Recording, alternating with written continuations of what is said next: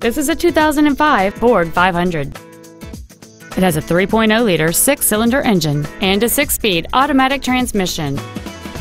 Features include a multi-link rear suspension, aluminum wheels, cruise control, a premium sound system, the Secure-Lock anti-theft system, a passenger side vanity mirror, front and rear floor mats, halogen headlights, solar tinted glass, and this vehicle has fewer than 55,000 miles on the odometer.